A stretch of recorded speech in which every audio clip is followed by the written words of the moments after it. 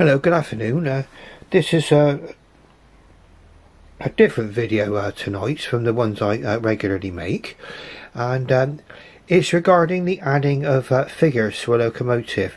Now I've probably mentioned in, in a few of my videos pre previously about uh, figures going into locomotives and it's got its pros and cons. please excuse my handheld camera work so I sort of reach about.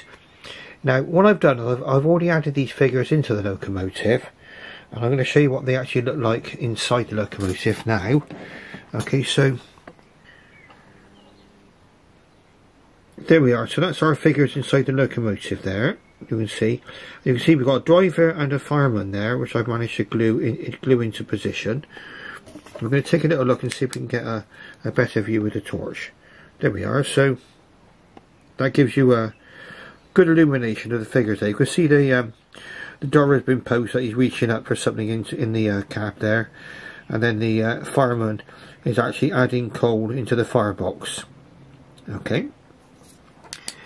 Now there's pros and cons to, to doing this. Obviously uh, what a lot of people would, would do is that they might, might prefer not to add figures to, to, their models because they don't want to lose the originality of, uh, of their particular model. They want to keep it as it is uh, as it came out of the box. And I can understand that and I can respect that view. But for me, I, I sort of found that um, uh, adding figures has made uh, a great deal of difference to my locomotives and that it kind of, uh, uh, for me, it kind of brings it to life. And on this particular one, you can see, like it's got the, um, because it's a Churchward locomotive, the cab is quite exposed, and so you've got a very, very, you can get a very, very good view of the uh, the figures inside the, the uh, locomotive here.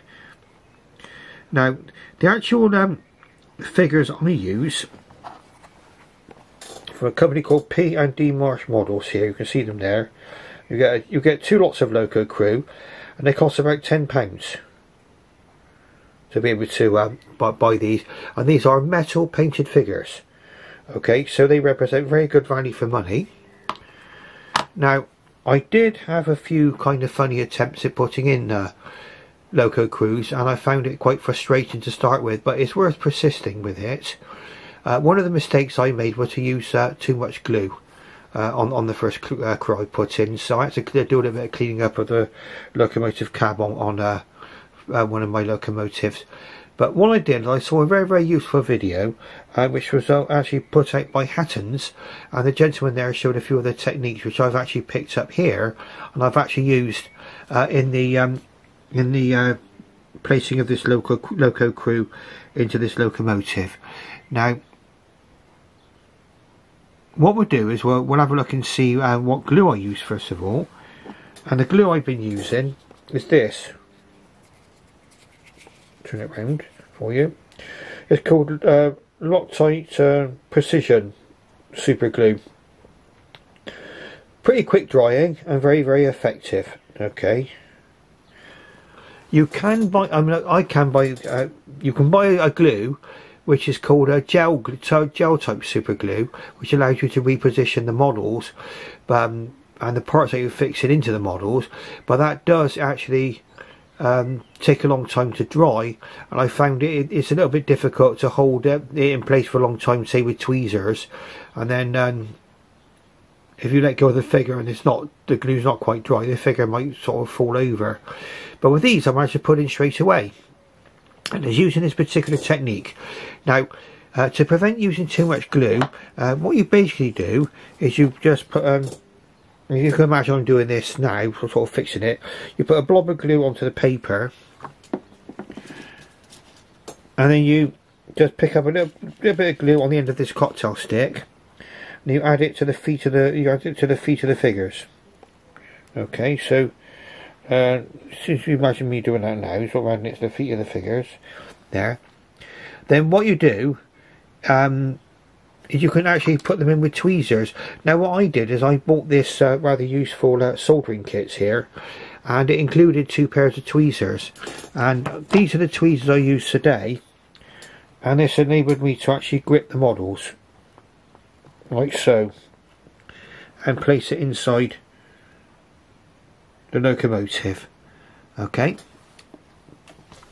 and and this really does in my view it, it does make the actual uh, locomotive pop uh, so to speak with detail And we'll just bring the uh, lamp round a little bit so we get a better view.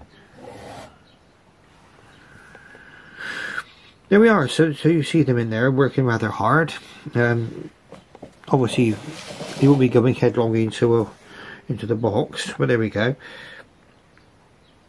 And this is just a, a, a regular uh, Hornby Railroad model. And so, so, so, there we go with our actual figures. Now, another thing which I've been using to, to enable me to get this um, these figures put in and for other things in my hobby is I bought myself one of these hobby lamps so I bought from Amazon okay and uh, see if we can find out what uh, oh my, mine is called a Purelite. It's called a Purelite there's the on off switch down there you can see. There we go. And uh, basically it's got four different um, illumination levels. So I'll switch it off now. You can see what difference it makes. Switch it right off. Look at that. You can imagine trying to work now. You can imagine how difficult that would be with just the overhead lights and the light coming in through the window. But if you switch the lights on, you've got one level, two levels, three levels, four levels. You've got four different levels of lighting. Uh, I normally use the, the maximum uh, level.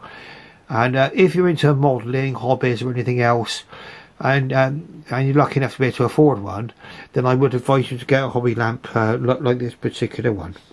Okay.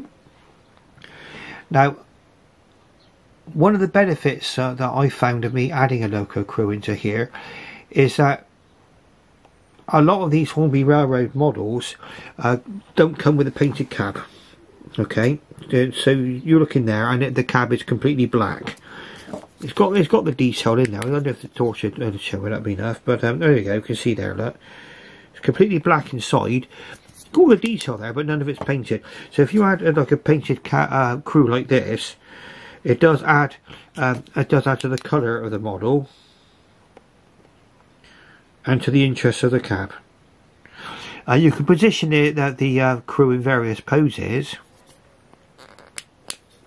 And that's all I did. I just simply put the glue onto the feet of the uh, the feet of the um, particular figures. And on the driver, I put a little tiny blob on his hand, so when he rested against the cab, it would also hold him against the, the, the cab, uh, because it's my intention to leave these in here permanently. Okay, so now you, you can imagine when, when the train's going round, um, you try to sort of, well, I, kind of imagine that this is a real locomotive going round. I think you've got to use a lot of imagination with model railways. I mean, I have to because uh, you can see where my uh, model railway goes. It actually goes on this bed. In fact, this is one of the baseboards. And the reason why it's so messy is because I've been using it as a, a table to do work on locomotives. I should have really covered it over, but you know, we, we live and learn, don't we? But anyway, but that, that's where it goes. And you think I'm trying to add sort of imagination and interest uh, to my uh, layout. Uh, it's a simple, it's a simple six foot by four foot layout there. And um, so by adding a crew, you can add add a kind of um, higher level of realism uh, to, to, to everything. And uh, you you can imagine that you know in reality, if this locomotive was real and it was uh, heading on down, say for example, from Paddington to Cornwall or something like that, uh, the local crew would be working very, very hard. Uh, the firemen um, working very, very hard to actually uh, make sure that there's, there's enough steam to get the locomotive, especially up some of the steep banks, steep hills, and obviously the um, the driver will be using the steam that the um, the fireman is creating and um, their uh, main objective is to get everybody safely to their destination on time. So when when this go around the track, you can sort of looking at the crew there. You can imagine them working very very hard at uh, keeping um, keeping the locomotive on time.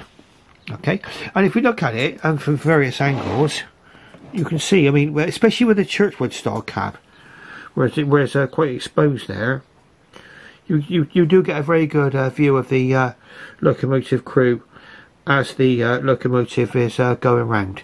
Um, this particular one is County of Devon. See there, from the Hornby Railroad range.